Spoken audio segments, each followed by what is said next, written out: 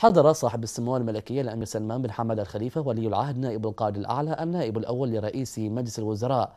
حضر مأدوبة العشاء التي أقامها فخامة الرئيس التركي رجب طيب أردوغان رئيس جمهورية تركيا على متن اليخت الرئاسي تكريما لرؤساء الوفود المشاركة في أعمال القمة الإسلامية التي تبدأ في الغد. وقد نقل صاحب السمو الملكي ولي العهد نائب القائد الأعلى النائب الأول لرئيس مجلس الوزراء. تحيات حضرة صاحب الجلالة الملك حمد بن عيسى الخليفة عاهل البلاد المفدى حفظه الله ورعاه. إلى فخامة الرئيس التركي وتمنيات جلالته لتركيا الصديقة كل تقدم وازدهار ولأعمال القمة الإسلامية التوفيق والنجاح. في الوصول إلى نتائج تعزز التضامن الإسلامي خاصة في هذه المرحلة الهامة التي تمر بها الأمة الإسلامية.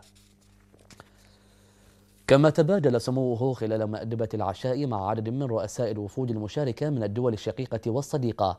الأحاديث حول العلاقات التي تجمع بين مملكة البحرين ودولهم إضافة إلى الموضوعات المطروحة على جدول أعمال القمة الإسلامية.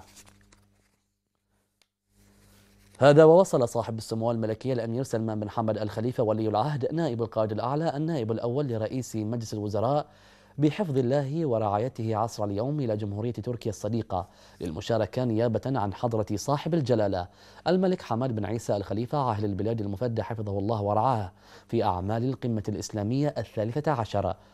ولدى وصول سموه مطار أتاتورك يرافقه سمو الشيخ محمد بن مبارك الخليفة نائب رئيس مجلس الوزراء. كان في الاستقبال معالي الشيخ خالد بن أحمد بن محمد الخليفة وزير الخارجية وسعادة السيد مصطفى إليتاس وزير الاقتصاد بجمهورية تركيا ونائب محافظ مدينة إسطنبول وعدد من كبار المسؤولين من مدنيين وعسكريين. وأيضا سعادة الدكتور إبراهيم يوسف العبد الله سفير مملكة البحرين لدى تركيا.